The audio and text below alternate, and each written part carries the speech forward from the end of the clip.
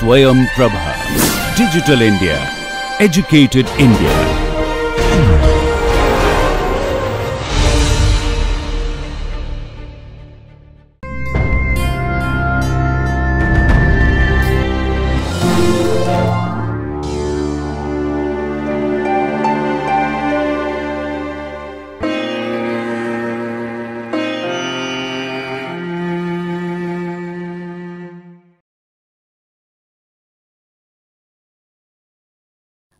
Good morning.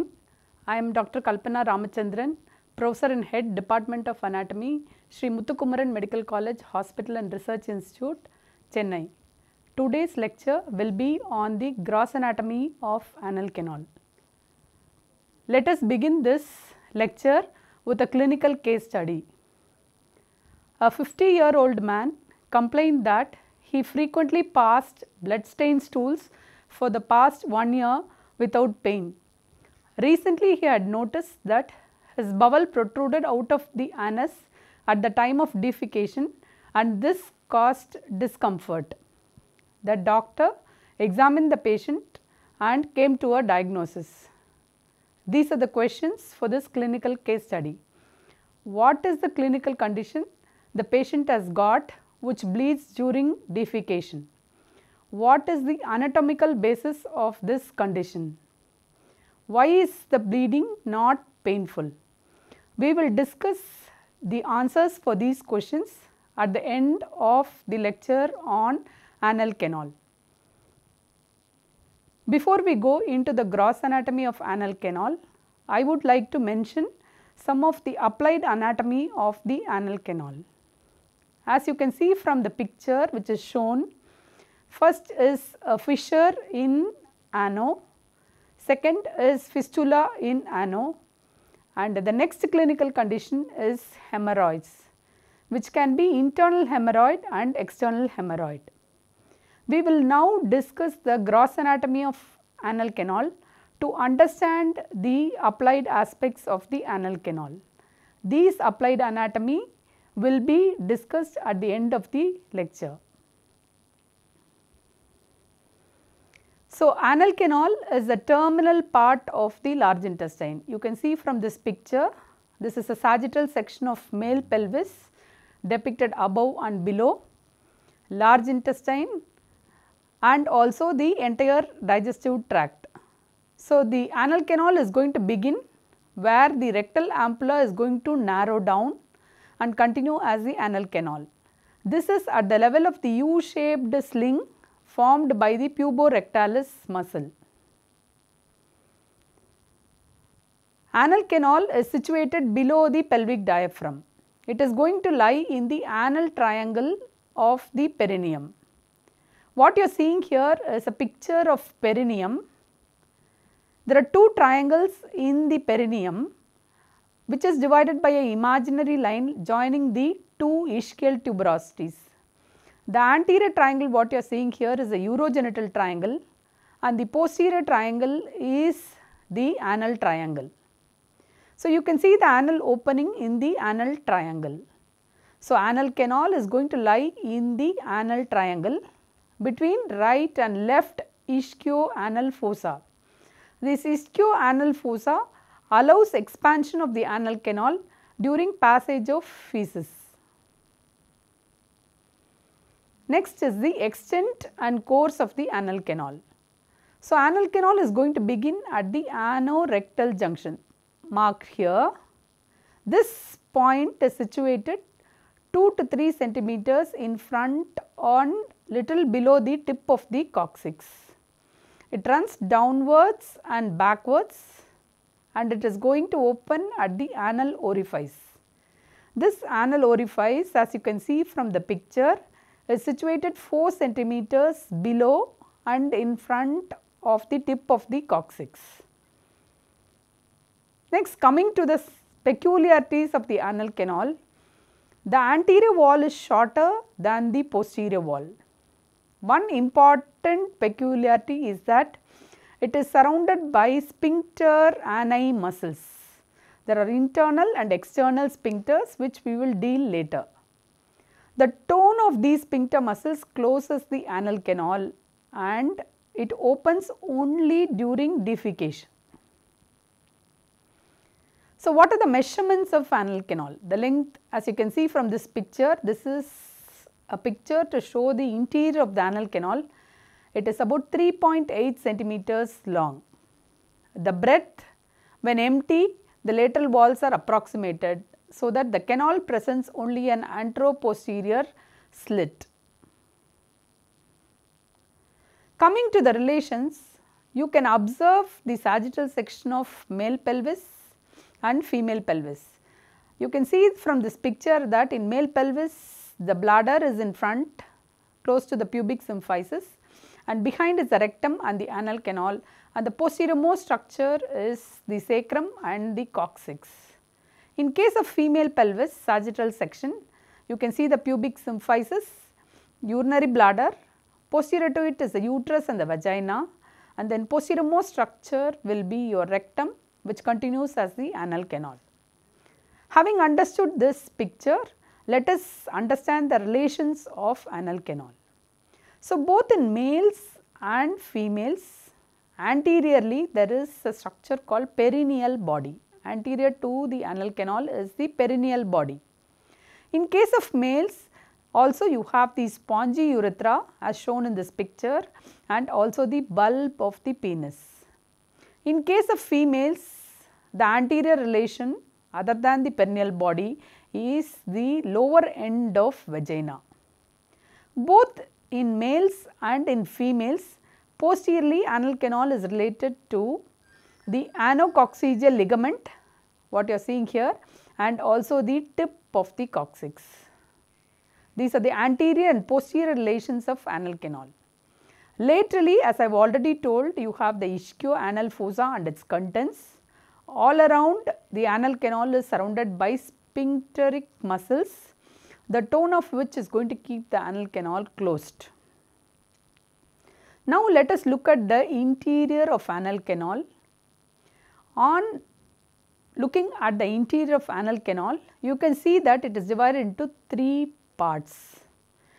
We divide that as upper area which is called as the mucous part, then a middle area which is the intermediate area or it is called as area of pecten or it is also called as a transition zone and a lower area which is called as cutaneous part.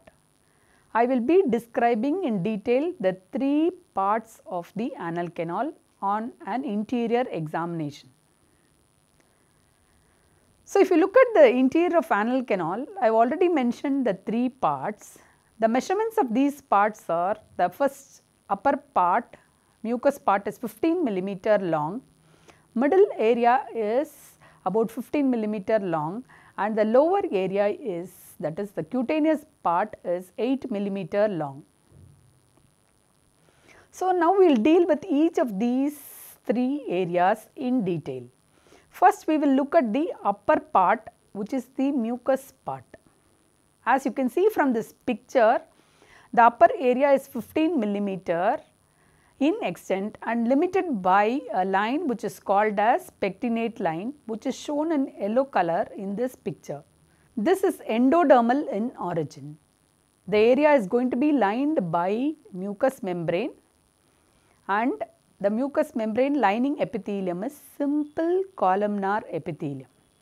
If you look at this mucous part in living, it will appear plum red because of the presence of venous plexus deep to the mucosa in the submucosa which is called as internal rectal venous plexus. So, the mucous membrane of the upper part shows some features. It shows some 6 to 10 longitudinal ridges which are called as anal columns. These are the anal columns of Morgagni. So, what are these anal columns of Morgagni? They are nothing but the reduplication of the mucous membrane, reduplication of the mucous membrane which contains terminal branches of superior rectal artery and vein. If you look at the lower end of these anal columns, they are united by means of a fold of mucous membrane which is transverse which is called as anal valves. So, you can see the picture these are the anal columns of Morgagni. The lower end are united by means of the anal valves. So, above each valve there is a depression in the mucosa this is called as anal sinus. The anal valves also show epithelial projections called anal papilla. Please remember these anal papilla are nothing but remnants of embryonic anal membrane. So, the anal valves together form a transverse line which runs all around the anal canal that is called as pectinate line or dentate line. You can see in the picture that the pectinate line is marked in yellow color. There is also another way of describing this pectinate line that is the inferior comb shaped. Can you see this? This is the inferior comb shaped limit of the anal valves form an irregular line that runs all around the canal that is called as pectinate line. This is situated opposite to the middle of the internal anal sphincter. This pectinate line is a very very important landmark because it indicates the junction between the superior part of the anal canal and inferior part of the anal canal. The superior part of the anal canal is derived from the embryonic hindgut. Please understand the superior part of the anal canal is derived from the embryonic hindgut that is it is endodermal in origin. The inferior part of the anal canal below the pectinate line is derived from the embryonic proctodeum that is it is formed by ectodermal invagination. So, pectinate line is an important landmark. Other than the embryological origin, there is an important aspect of the pectinate line which you should know that superior to the anal canal and inferior to the anal canal, the arterial supply, the venous drainage, lymphatic drainage and the innervation are different. This is because of the different embryological origins of the superior and inferior parts of anal canal which I have already explained. Having read about the so upper part or the mucous part, we will now go on to the middle part which is the intermediate area. It is also called as area of pecten or it is called as transitional zone which is marked as a yellow box in this diagram.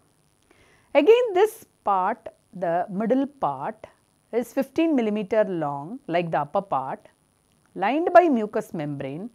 Please note the difference between upper part and the middle part. The middle part anal columns are absent. The lower limit of this middle part or the pecten has got a whitish appearance and it is referred to as white line of Hilton. The middle part is lined by stratified squamous epithelium, but there are no sweat and sebaceous glands in the epithelium. The epithelium here is thin, pale and glossy.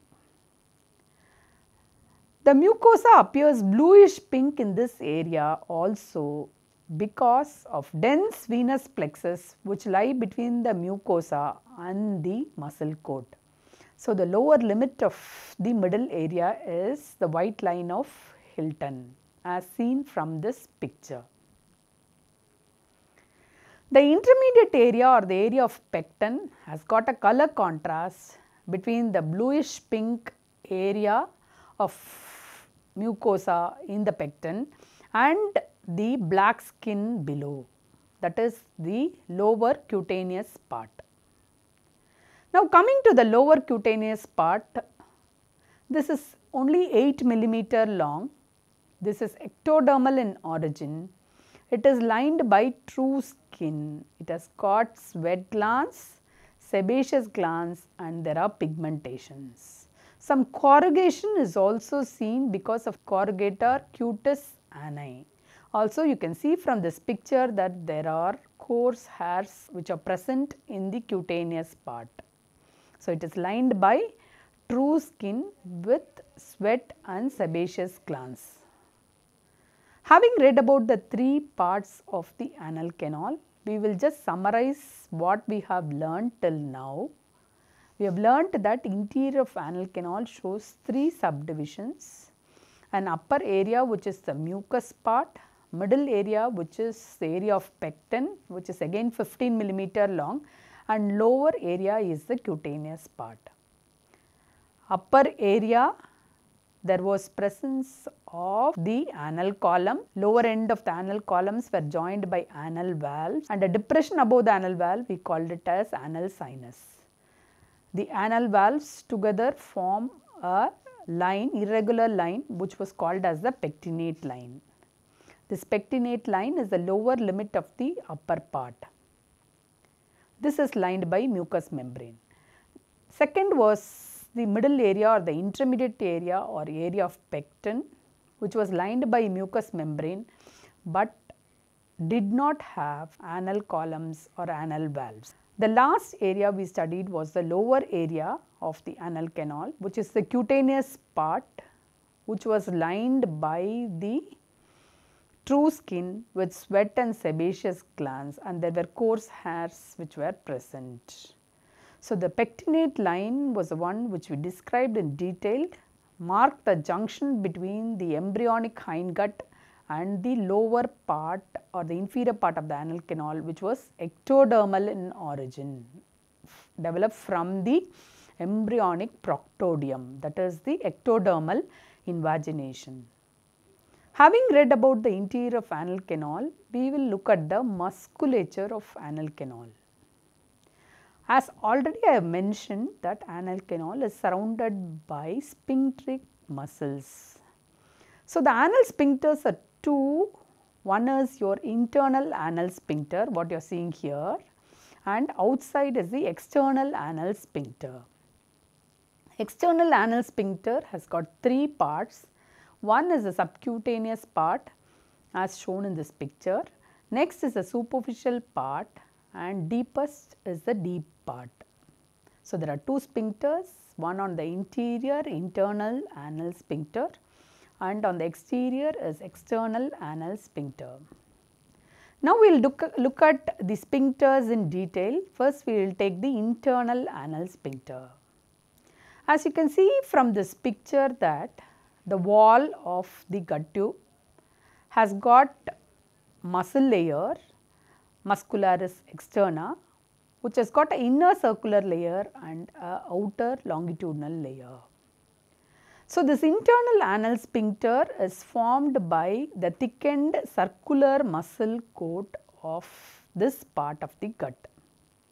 It is going to su surround the superior two thirds of the anal canal and extends from the anal canal upper end to the white line of Hilton.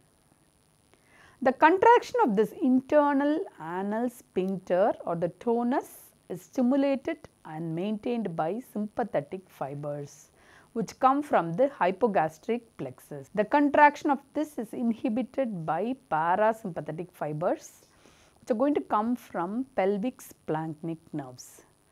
So, internal sphincters are stimulated by sympathetic fibers and inhibited by parasympathetic fibers.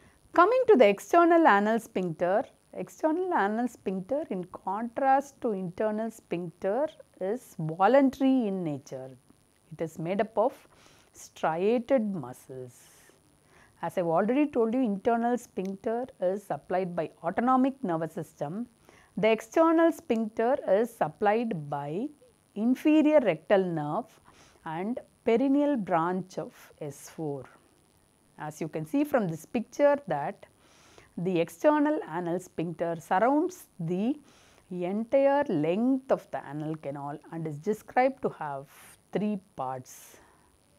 So, the external sphincter is a large voluntary sphincter that forms a broad band that is going to surround the whole length of the anal canal in contrast with the internal sphincter which surrounds only the superior two third of the anal canal and extends only till the white line of Hilton. So, this external anal sphincter as I already mentioned it has been described to have three parts namely subcutaneous, then a superficial and deep part. But actually these are only three zones, they are the zones rather than the muscle bellies and often they are indistinct, they are often indistinct. Their attachment is anteriorly they will be attached to the center point of the perineum that is the perineal body. This is a picture of the perineum, male perineum. So, the uh, sphincters are attached, external anal sphincters are attached anteriorly to the perineal body and posteriorly you can see that it is attached to the anococcygeal ligament and the coccyx. Superiorly it is going to blend with this muscle that is puborectalis muscle. Having learnt about internal sphincter and external sphincter of the anal canal, there is one more structure which is very very important which is called as anorectal ring because this is important in maintaining continence, anal continence. So, there is a distinct muscular ring formed at the junction of rectum with the anal canal. This is the area where your anorectal ring is present. This is formed by 1 is your internal sphincter, 2 is the deep part of the external sphincter and 3 is the puborectalis. I repeat the anorectal ring is at the junction of rectum and anal canal. It is a distinct muscular ring which can be felt by a finger in the anal canal. It is formed by internal anal sphincter, deep part of the external sphincter and puborectalis muscle. This anorectal ring helps in increasing the anorectal angle. So, if you divide this ring surgically, the patient will have rectal incontinence. Surgical division of the ring results in rectal incontinence. So, that is the importance of anorectal ring. Having studied the internal features of anal canal and the sphincters, let us now study the blood supply of anal canal. In that first is the arterial supply of anal canal. As I have already mentioned, the arterial supply, venous drainage, lymphatic drainage and the innervation are different in the superior part of the superior part above the pectinate line and part below the pectinate line. So, we will be describing these things superior to pectinate line and inferior to pectinate line. So, superior to pectinate line the arterial supply is going to come from the superior rectal artery. Inferior to pectinate line and also to the surrounding muscles and perianal skin, there are going to be two inferior rectal arteries. You can see from this picture that the inferior rectal artery is coming from internal pudendal arteries. Other than this, there is also a middle rectal artery which assists with the blood supply to anal canal by anastomosing with the superior rectal artery and inferior rectal arteries. The middle rectal arteries are going to come from the internal iliac arteries. So, there are three arteries supplying the anal canal. One is the superior rectal artery, middle rectal artery and inferior rectal artery. Coming to the venous drainage of anal canal, above the pectinate line, there are going to be venous plexus which are called as internal rectal venous plexus. You can see the picture in the right lower down corner that in the submucosa you have a plexus of veins which are called as internal rectal venous plexus. They are lying in the submucosa of the anal canal. So, they are going to drain into the superior rectal vein. This superior rectal vein itself is a tributary of inferior mesenteric vein uh, and this is going to anastomose with the or communicate with the external rectal venous plexus. So, internal rectal plexus if you see it is in the form of series of dilated pouches. So, external rectal venous plexus if you see it is going to lie outside the muscle coat of the anal canal. So, lower part of this is going to be drained by means of the inferior rectal vein to the internal pudendal vein. Middle part is going to be drained by the middle rectal vein which goes into the internal iliac vein. Upper part is going to be drained by the superior rectal vein which continues as the inferior mesenteric vein. The middle rectal vein forms anastomosis with the superior rectal vein and also with the inferior rectal vein. So, this middle rectal and inferior rectal vein are tributaries of caval system and your superior rectal vein which continues as inferior mesenteric vein is a tributary of portal system. So, in the anal canal you can see that there is portocaval anastomosis. Portal component is by superior rectal vein and caval component is by the middle and inferior rectal vein. So, anal canal is an important site of portal and systemic veins that is the important site of portocaval anastomosis. Coming to the lymphatic drainage, Superior to the pectinate line, lymphatic vessels drain into internal iliac nodes in relation to internal iliac artery. From there go into the common iliac node. They go into the common iliac nodes and also into lumbar node. Inferior to the pectinate line, the lymphatic drainage goes into superficial inguinal nodes. So, above pectinate line, it is to the internal iliac nodes, common iliac nodes, lumbar nodes Below pectinate line, lymphatic drainage is into the superficial inguinal nodes. Hence, pectinate line is an important anatomical landmark. Nerve supply also again will be describing superior to pectinate line and inferior to pectinate line. So, superior to pectinate line I have told you it is endodermal in origin.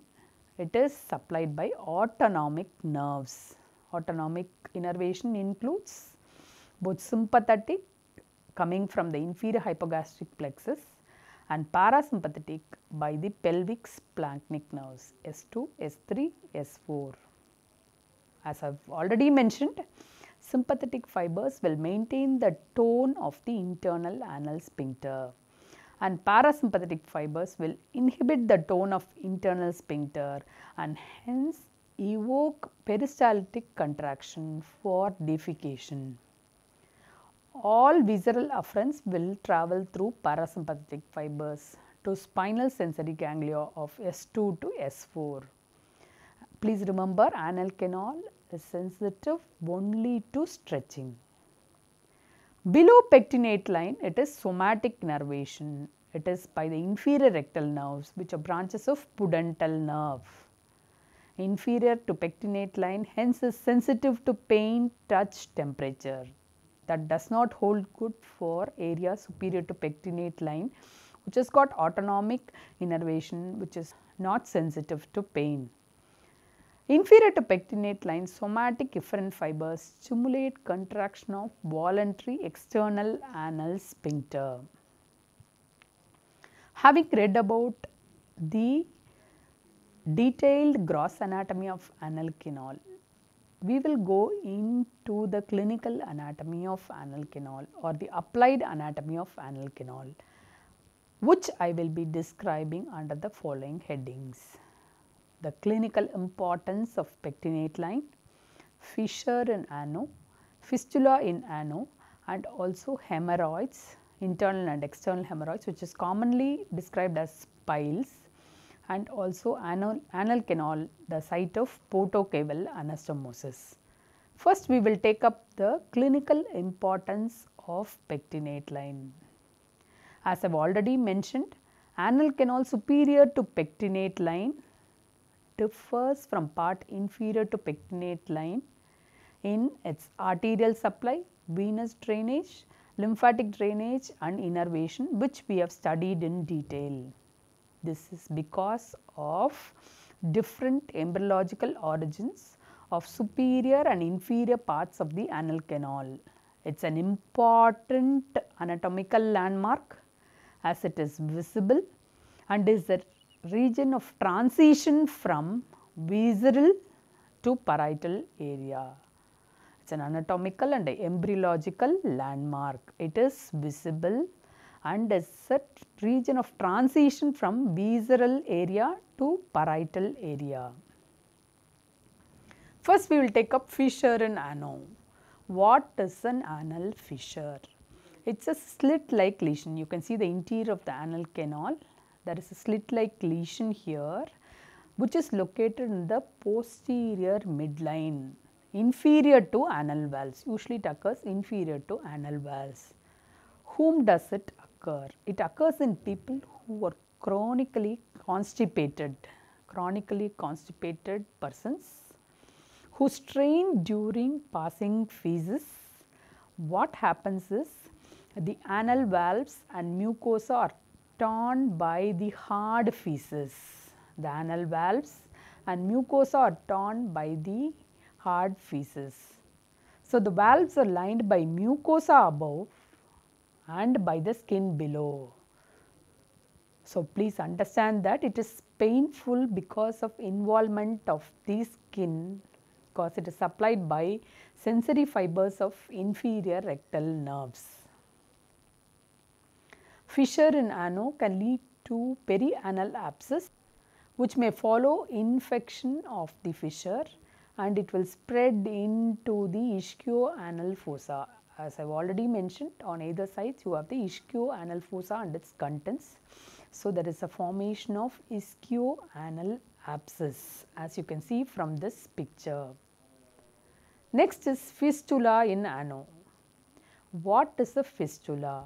Fistula is a hollow tract lined with granulation tissue which connects a primary opening inside the anal canal with a secondary opening in the perianal skin. It is a hollow tract which can connect two cavities or it can connect one cavity to the exterior.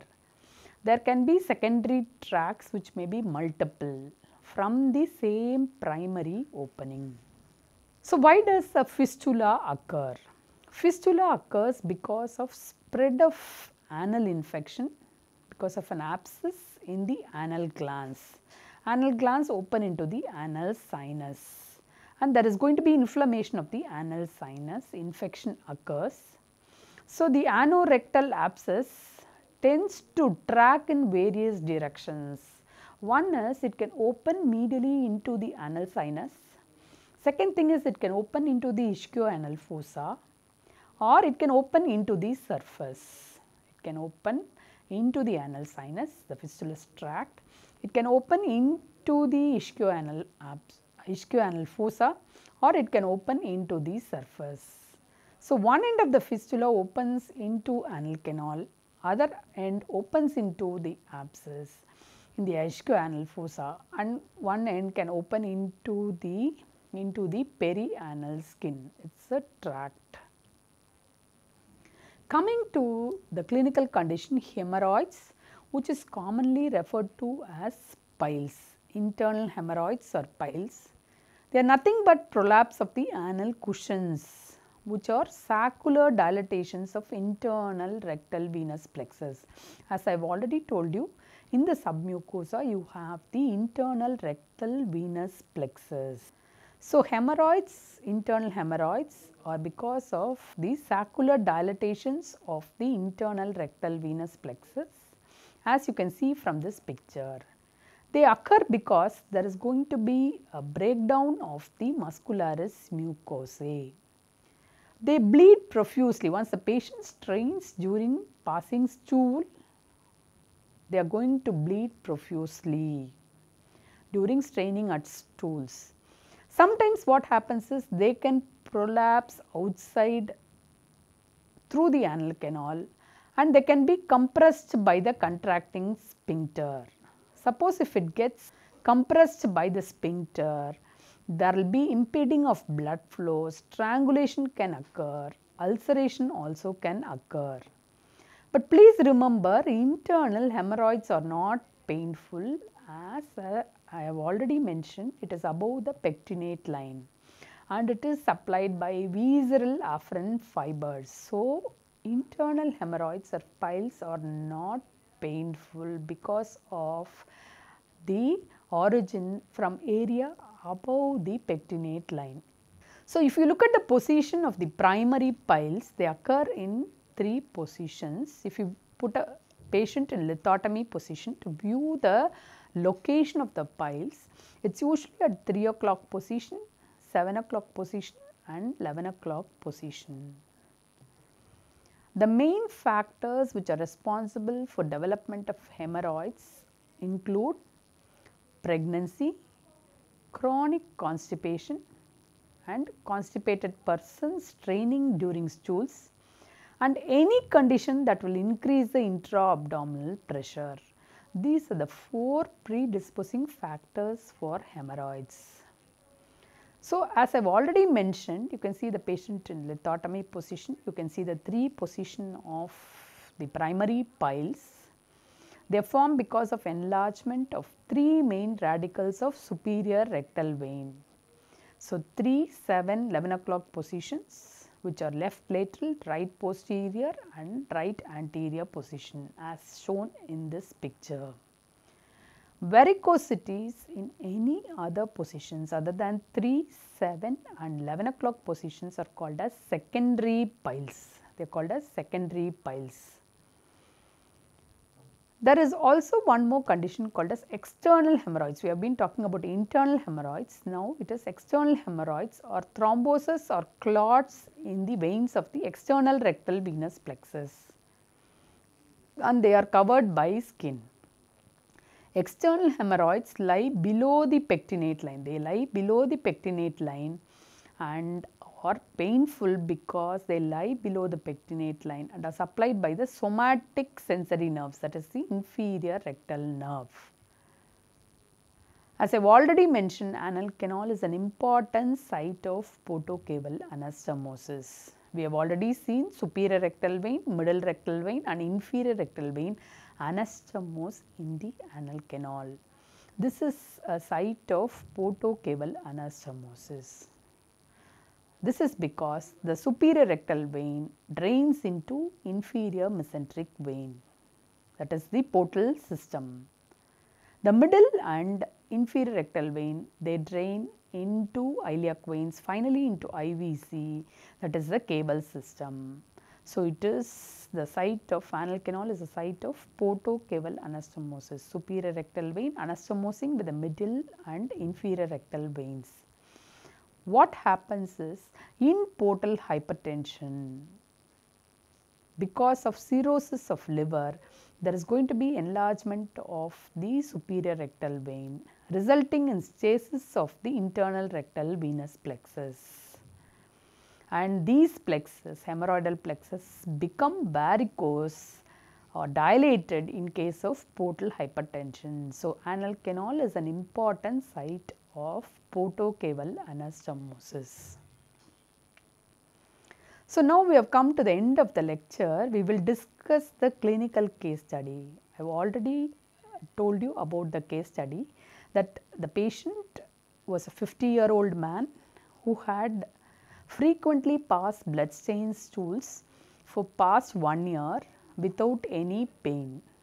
Recently, he had noticed that his bowel protruded out of the anus at the time of defecation and this caused discomfort. The doctor examined the patient and came to a diagnosis. So, we will discuss the questions. The clinical condition which bleeds during defecation is internal hemorrhoids or piles. The patient is having internal hemorrhoids or piles.